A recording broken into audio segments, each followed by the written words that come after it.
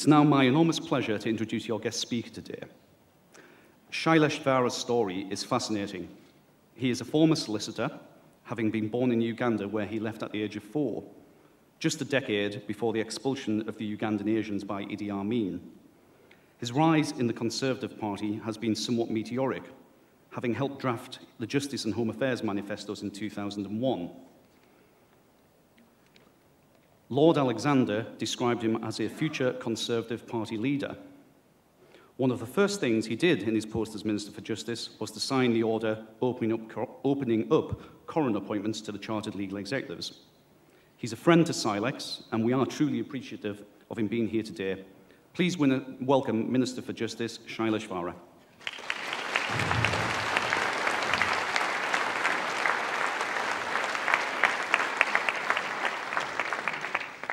Well, thank you very much, Stephen, for that very kind welcome. I have to say, I'd forgotten some of the things that had been said about me in the past, and I sometimes refer to myself as a former rising star uh, when I think of what Lord Alexander said. Um, good afternoon, ladies and gentlemen. It really is a very great pleasure to be here today, and thank you for inviting me. It's a privilege to be part of your graduation ceremony today, and I am, of course, well aware of the very important role that the Chartered Institute of Legal Executives plays in the legal profession. Let me start by congratulating all of you who are graduating today. I congratulate you for your success and for the, for the long road of hard work it has taken to arrive at this point. I know only too well that it takes dedication and determination to pursue a career in law. This is especially so for those of you who perhaps haven't always had it easy. For example, studying whilst working, as well as trying to juggle family commitments. Ladies and gentlemen, as the son of an immigrant carpenter, I really do know what some of you have had to go through in order to get here today. I appreciate the struggles, the pressures, the difficulties. But through it all, you have triumphed. And today, as you graduate, you have every right to be thoroughly proud of yourselves. We heard earlier on from the President some examples of the stories, the human stories of individuals. And they were simply a sample of what each and every one of you has to say. May I also extend a very warm congratulations to your friends and families, many of whom are here today. During those difficult times, you were there to support your loved ones, and I'm sure that they are very grateful for that. But you too must have your moment of joy today. I hope that this will be a memorable and enjoyable day for all of you, a day that marks the beginning of an important new chapter in your lives. We have today a mixture of awards being presented, which cover graduates of CILEx, fellows of CILEx, and chartered legal executive advocates, which demonstrates the full range of qualifications that CILEx offers. As you will be aware, the legal services market is rapidly changing. The historical restrictions on the structure of law firms and ownership has relaxed. Legal professionals can now work together in innovative ways, bringing together flexibility for new business opportunities. Alternative business structures enable lawyers and other professionals, such as accountants, bankers, and insurers, to, to explore a wider range of commercial opportunity to help their businesses grow. You can choose a career towards a judicial appointment or becoming a partner in a law firm alongside barristers and solicitors. Moreover, the UK legal qualification is valued across the globe, allowing for opportunities abroad.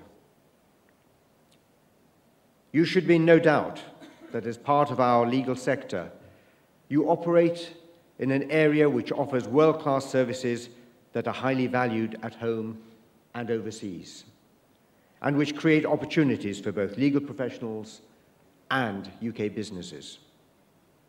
Legal services also play a crucial role in our economic growth. The sector contributes over 20 billion pounds every year to the UK economy, which is equivalent to 1.5% of the country's GDP. It is an export-orientated sector which contributed some 4 billion pounds in export value and generated a trade surplus of 2.9 billion pounds in 2012. We have a strong reputation as a leading global centre for the provision of international legal services. The attractiveness of English law is evidenced by the fact that around 75% of the claims brought in the commercial court involve at least one overseas party. Never before has there been so much choice about the career routes that you can pursue. You are entering a world where you can choose the type of firm you wish to work in. For example, some of you may decide that you want to become a partner in a, in a firm working alongside other professionals offering a range of services, not just legal services. The opportunities are there. You are the new generation. You have the opportunity to be innovators, delivering the services that your clients want. And technological advances have opened communication channels between legal professionals and their clients. You can communicate in the way they want with face-to-face -face meetings through the internet or through Skype. As well as opportunities, there will, of course, also be challenges. As new waters are navigated and the market continues to grow organically, the sector will have to continue to learn what the changes mean for you you will be responsible for being at the forefront as you lead those changes and they play out in the marketplace. Consumers will rely on you for up-to-date, accurate information about the choices available to them when they need legal services. The sector will be competitive, which will both drive up standards and produce cost-effective and efficient services, placing consumers at the heart of the market.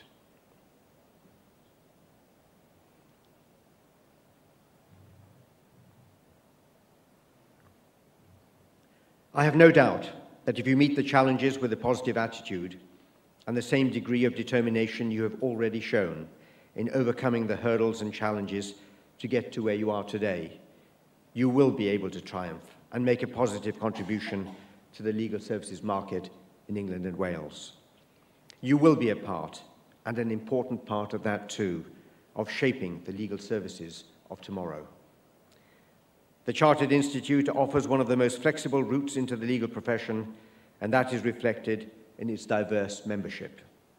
Achieving a more diverse legal profession is something I am committed to in my role as Justice Minister.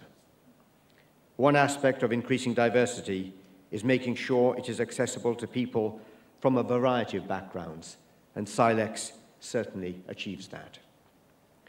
The increasing number of opportunities available to your members represents a definite step in the right direction. For example, through the Tribunal Courts and Enforcement Act of 2007, CILEx members are able to take up a variety of judicial posts and progress through the judiciary, something that was mentioned by the President in his remarks earlier. As at April 2013, I understand that there are two deputy district judges who are legal executives.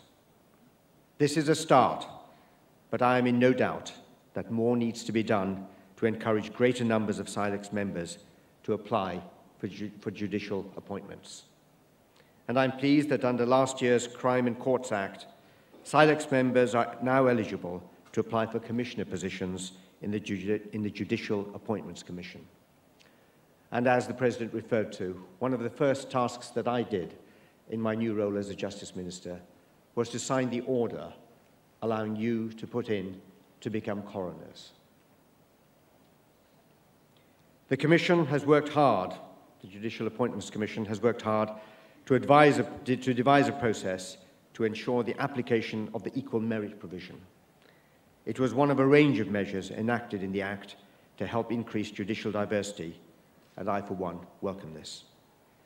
There are close links between a more diverse legal profession and greater judicial diversity.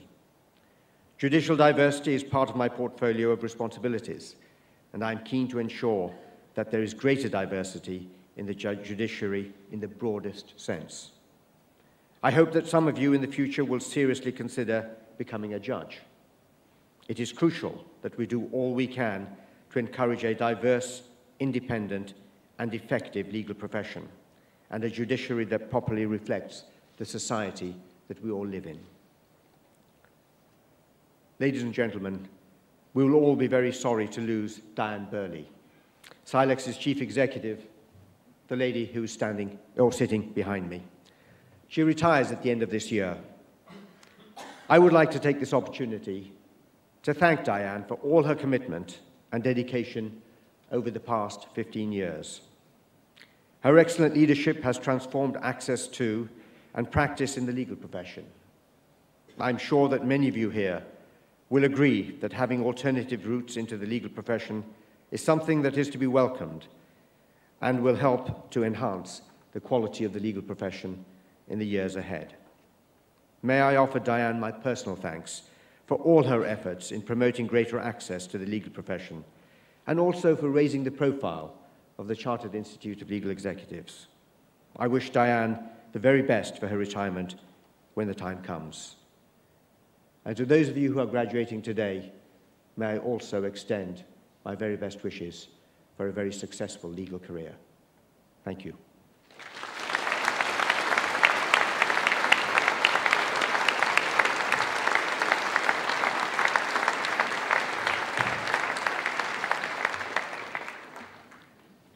Thank you very much indeed, Minister, for a really, really encouraging, very encouraging speech to all of us today.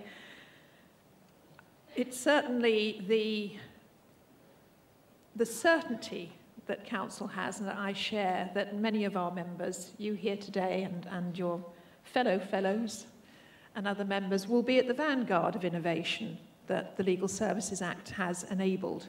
And um, although I am retiring at the end of this year, I shall be watching to see what you're all doing.